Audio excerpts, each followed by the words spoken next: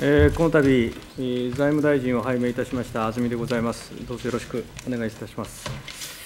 えー、2日前まで国会対策委員長として、えー、ずっと皆さんにお世話になってまいりましたけれども、えー、新しいポストで、えー、今度は我が国の財政再建等々、困難な課題に直面している状況を打開するために全力で取り組んでいきたいと思っております。政治日程を考えますと、これからこの年末にかけまして、第3次の補正予算の編成、さらには税と社会保障一体改革の成案を得ていく、ご存知のように、まあ、私も国会対策委員長として、3党合意のこのペーパーを作成した責任者の一人でございますが、今の国会の状況では、やはり与野党の協力を得ながら、これを進めていかなければなりませんので、丁寧な対応をしていきたいというふうに思っております。本日は総理から何点かのご指示をいただきました。まあ、総理ご自身、前財務大財務大臣として、この厳しい状況の中で、2度の予算編成に携わってこられましたので、私もその意思をしっかり受け継いで、これから対応していきたいと思います。ま以下、総理からいただいたご指示について申し上げます。まず、本格的な復興のための予算であります第3次補正予算の編成及び財源の確保、空洞化対策も含む円高への対応、社会保障と税の一体改革をはじめとする税制改正について、しっかりやるようにという指示を受けました。ご存知かもしれませんが、私は宮城県の石巻市の出身でございまして、まさに被災地で最も被害の大きかったところが私のふるさとでございます。私の成果も全開いたしまして、父も母も1か月半ほど避難所にいて、私もまあ本当にあのこの未曾有のこの大災害を肌で最も感じた国会議員の一人でございます。1時、2時の補正は、本当にあの応急復旧ということで、がれきの処理とやってまいりましたが、今、被災地では、本当にあの家族を失ったりですね、そういう喪失感を持っている方々がようやくこの立ち上がって、え、復興に向けて歩みをこう前に進めていこうという自治体が増えてまいりました。私どもはそれを後押しをしなければならない大きな責任があります。第3次補正予算はそうした意味では、そういう方々に対して希望を持ってもらえるものにしなければなりません。合わせて、それに伴うこの財源につきましては、先ほど総理もお話がありましたように、できるだけ無駄を徹底的に省くのと同時に、財源の捻出に努めてまいりたいと思っております。合わせて、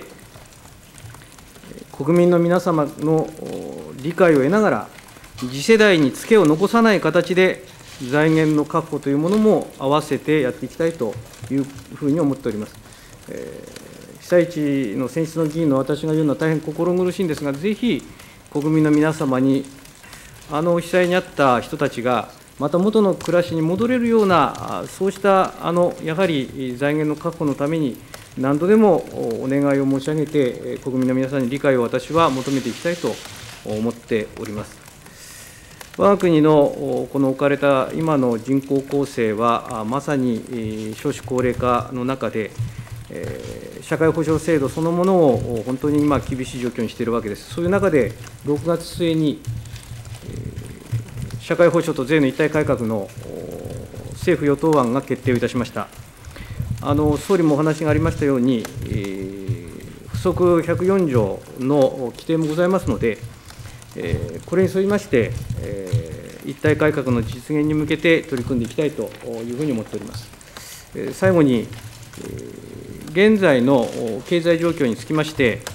え大震災の影響から持ち直しつつあるものの、一方で、ご存知のように欧米の景気の減速、それから我が国においては、円高等による景気の下振れリスクに留意が必要な状況と考えております。復旧・復興のための第3次補正予算でございますが、これにプラスして景気対策も、円高対策も進めていくということをやらなければならないというふうに思っております。まあ、来年度の予算編成も控えておりますので、本当にあの全力でこれから年末に向けてですね、課題を克服していきたいと思います。えー、微力でございますけれども、ご指導賜りますよう、よろしくお願いします。私から以上です。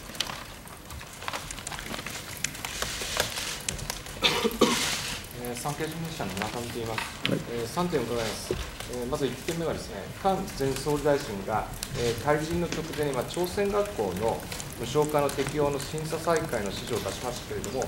それにつきまして、あの大臣は指示をされますでしょうか。それから2点目、えいわゆる永久戦犯を戦争犯罪人ではないとした野田総理大臣の考えをどういうふうにご覧になりますでしょうか。それから3点目、えー、民主党の、ま、小沢元代表の処分についてですが、これは見直すことがあり得るのか、まあ、見直すべきなのかどうなのか、その3点についてお聞かせください。はい朝鮮学校の問題につきましては、あの中川文科大臣に手続きに入ったということでございますが、あの所管大臣からぜひ聞いていただきたいというふうに思います。あの総理のその質問書の問題につきましては、総理ご自身が一議員として出されたわけでございますが、今は総理としての立場で申し上げたわけではないと私は思っております。私自身も政府の一員として、これまでの政府の答弁書を尊重していきたいと思っております。小沢先生の問題につきましては、まあ、私はあのまさにあの国会対策委員長で、党の役員でおりましたので、まあ、これは今の新しい出向部に、これまでの経緯を踏まえてあの対応していただければ、私はいいと思いますし、あの越石幹事長があの適切に対応していただけるというふうに信じております。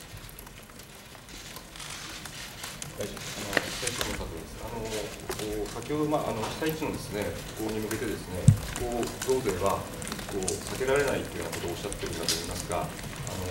まあ、党内でもですねその代表選挙の想定になったぐらいの問題でありまして、これ、あの大臣としてですねどうその道筋をつけていくか、現時点でどのようなお考えでしょうか。これからの与党と特にあの前原政調会長を含めて、えー、話し合いはぜひさせていただきたいと思います。あのこれまでの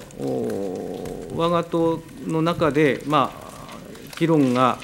本当にこれ、熱心に戦わされてきました。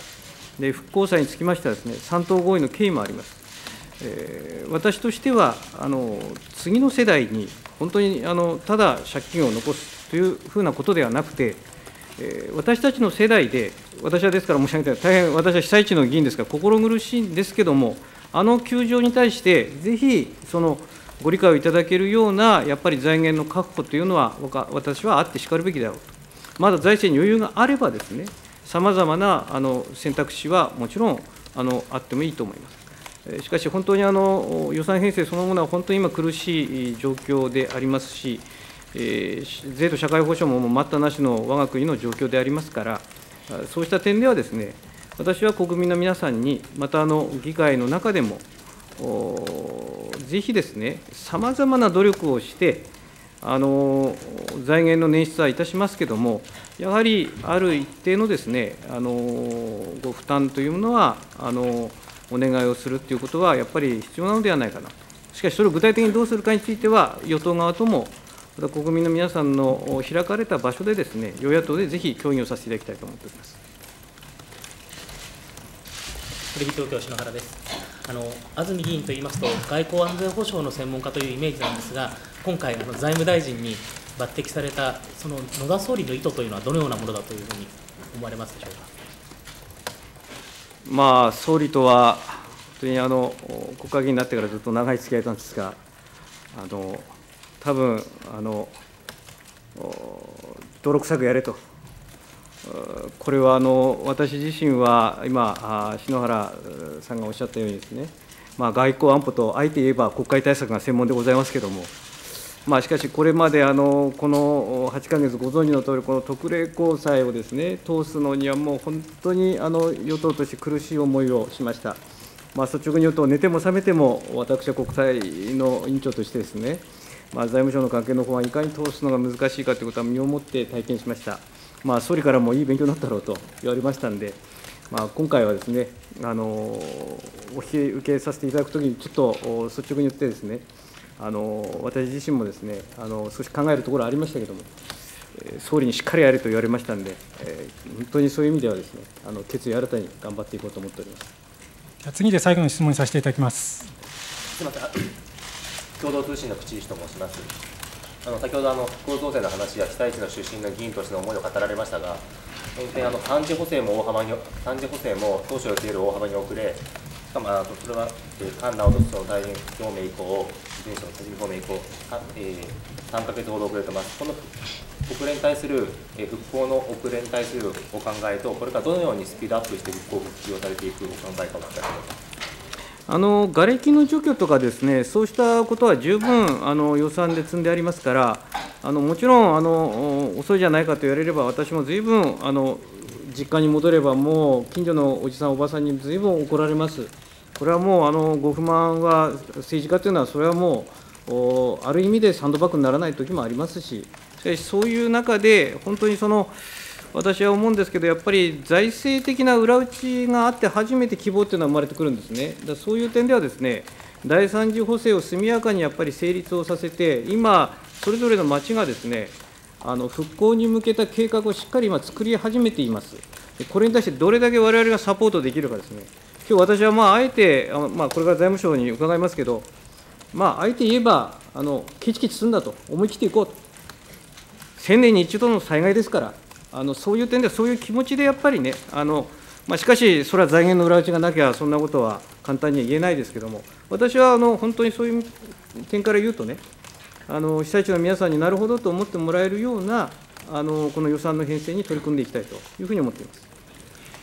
以上をもちまして、安住財務大臣の会見を終了いたします。ありがとうございました。よろしくお願いします。